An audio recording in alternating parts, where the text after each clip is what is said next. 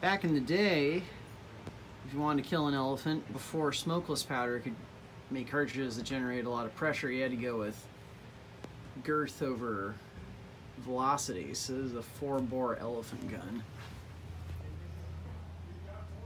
Shut the door when you're